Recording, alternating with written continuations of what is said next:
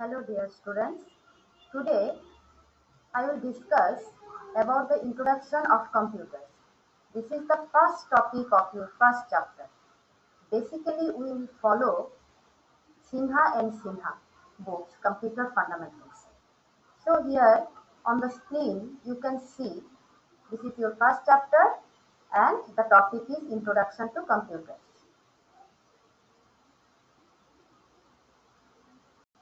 So in this chapter, we will go through these topics uh, which you can see on your screen.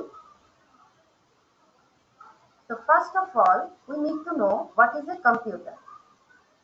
So first of all, you have to understand what do we mean by this computer word. This computer word comes from the word compute which means to calculate. That means actually from calculator uh, this term came calculate then another synonym of calculate is compute and from this compute word computer comes.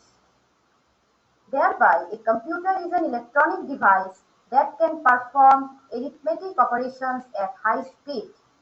So basically computer is a machine or you can say it as electronic device which can perform some arithmetic operations Suppose addition, subtraction, division, multiplication, these are uh, the basic arithmetic operations, but computer can do it at very high speed.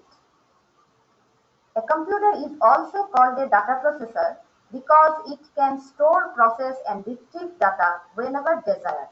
Actually, computer works on data. Without data, computer cannot work.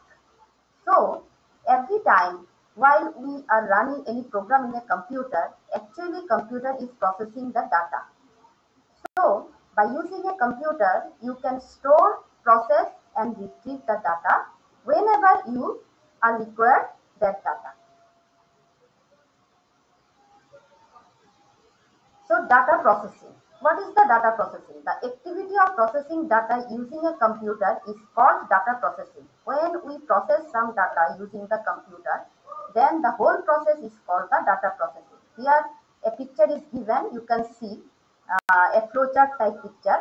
First of all, we give data as a input. Then what computer does? Computer capture that data, then manipulate that data.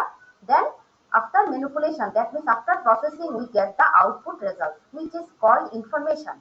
So data is basically a raw material which we are used as input and information is processed data obtained as output of data processing.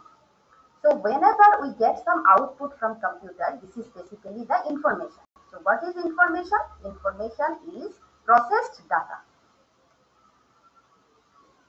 So now uh, uh, for this for, for this time being, uh, this, uh, these are the topics which I covered. So in the next class, I will discuss this topic characteristics of computer.